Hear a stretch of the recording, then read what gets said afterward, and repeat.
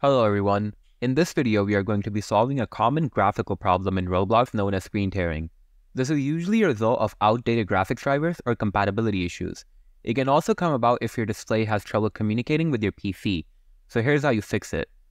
For the first method, navigate to the Windows tile and search for the Roblox player. Once you find it, navigate to the open file location and click it. Once you're here, right-click on the Roblox player and select Properties. Then make your way over to the Compatibility tab and make sure that this box is checked. This will run this in compatibility mode. Make sure the mode is also set to Windows 7. It is also a good idea to disable full screen optimizations. Once you do that, make sure to hit apply and then OK. Next, you want to check your graphic drivers. For that, hit the Start button and search for the device manager. Open it and navigate to the display adapters. Hit the little arrow and then select your display adapter. Right click on it and then press Update Driver. Search automatically for drivers, and if you already have the best ones installed, simply close the application. If you don't, you can install them.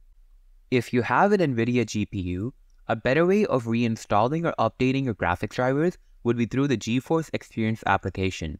As of recording this, I cannot open the application because OBS crashes, but you can simply search up but you can simply search up a tutorial online to help you update your graphics drivers.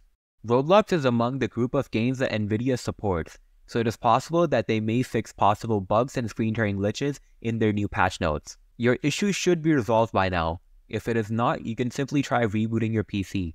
If it still persists, we have one last method. This method is exclusive to NVIDIA GPUs and monitors that can support G-Sync. For this, if you're on Windows 11, right-click on your desktop and go to Show More Options. Click it and then navigate to the NVIDIA control panel. If you're on Windows 10, you'll see this as soon as you right-click.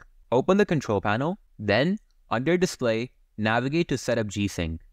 Make sure that this box is checked. Once you check it, simply hit Apply and close the application. If your application still isn't running, you can try one last thing. Hit the Windows tile and select Settings. We are going to be uninstalling the game. Go to Apps, then Installed Apps, and search for Roblox in the search bar. Select the three dots next to Roblox and uninstall it. Do the same for the Roblox player. Close the Settings application and open the Microsoft Store. Then, search for Roblox in the search bar. If you uninstall the game, it will say get or install where it says play for me. Simply reinstall the game and reboot your PC one last time. This should fix your issue.